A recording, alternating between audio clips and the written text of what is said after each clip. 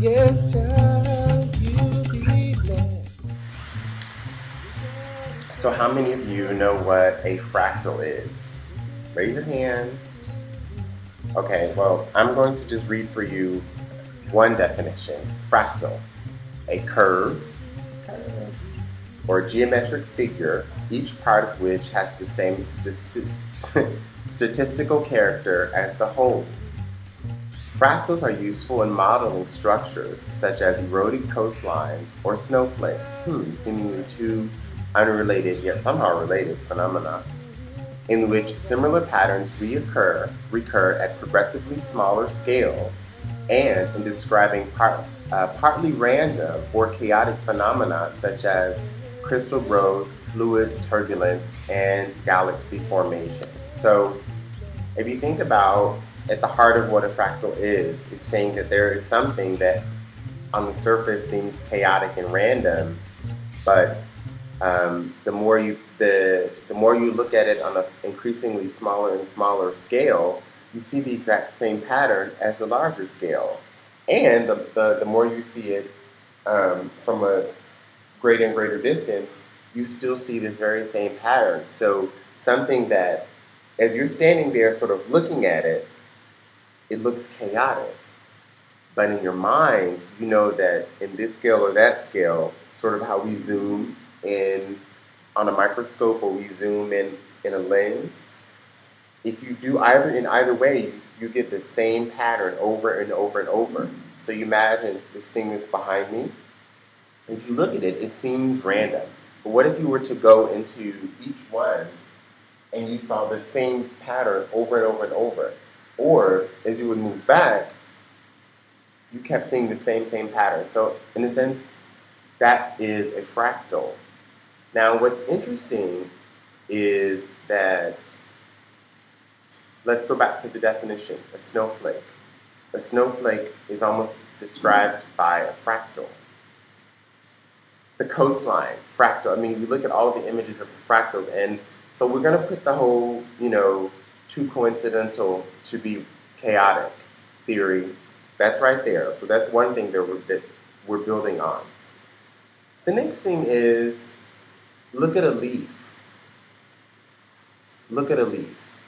I'm actually going to go grab one of my favorite uh, leaves. So you hold on.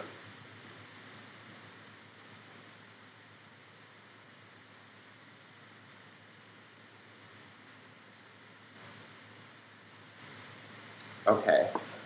So aside from raping a little tree, my, my poor little people tree can handle it. Can you handle it? So what we find is that this, this shape of this leaf, and the actual shape of the tree can be represented by a fractal. That we can mathematically write down, that we can translate in a sense as much as I can speak to in English and I can write this in Korean or transliterate it in Korean, I can also translate this into math. It's a fractal. Too coincidental to be random. And I want to go back to the building blocks of life. DNA, you know, RNA, those proteins. If we talk about protein, is it, you know, life around us is a series of complex proteins. Of course, we're so we're so bossy that mammal proteins are so you know complex that uh, it takes an entire human genome project to decode it, which we now have, based on what Watson and Crick said that there is this bit of protein. Now, what's interesting is that we're finding that those the physical structure, this you know the double helix, you know the spiral DNA we say it's a building block of life because it gives out instructions. But for me, I, I fail to see all of the different sort of philosophies of science um, connect where that building block leaps into life. So you have physicists and they have their answer. You have biologists and they have their answer. You have chemists and they have their answer.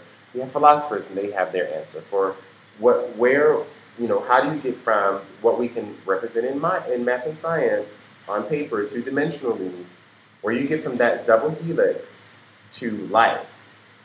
what I'm saying is that I think it comes down to a fractal. As simple as, you know, if you put a chain, the very specific way that your lysine, lysine, and, you know, all these amino acids, the very specific way that that fits together, that is simply just, that the instruction is fractal. That's what it is. That's what I'm saying. That's my big theory. That as much as this is, I'm not saying it's my big theory.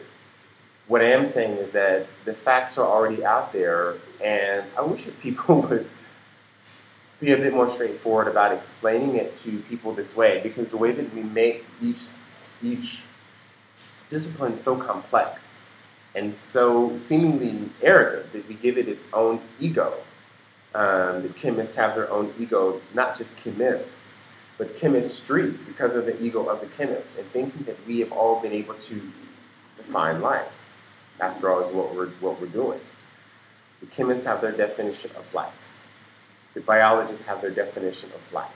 You know, and they all seem very fractured, chaotic. But if you step back, you again see a pattern of fractals. Again, another pattern of fractals emerges here. That where you know chemistry breaks off from physics, where you know biology breaks off from you know where medicine breaks off from from biology, where biochemistry breaks off, you know, you find that there is this continual fractal that they grow, that they even sense spiral around as part of the way that knowledge, that this knowledge of fractals um, goes into these different disciplines, but yet you find these repeatedly wanting to know more detail and at a greater scale about the very bits of knowledge that we have in geometry. How can we express it in this language? So, in a sense, we're trying to unravel our language more and more to produce more knowledge about ultimately the self. And that in itself is a, a fractal, a fractal of knowledge. So we, we're working we're working with fractals on so many different levels here that even that becomes a bit too coincidental to be just chaotic.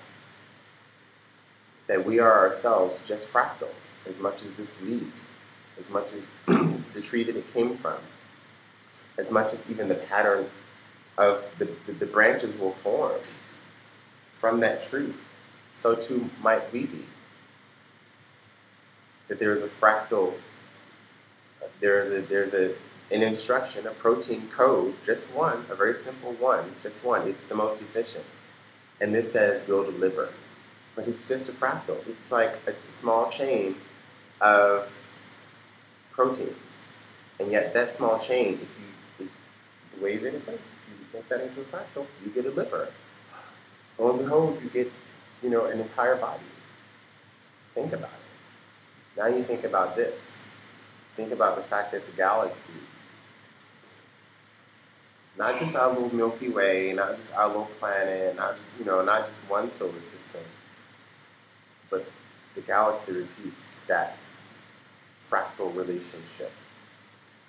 So in a sense, what we're searching for is not a specific knowledge, but a, a knowledge of relationships.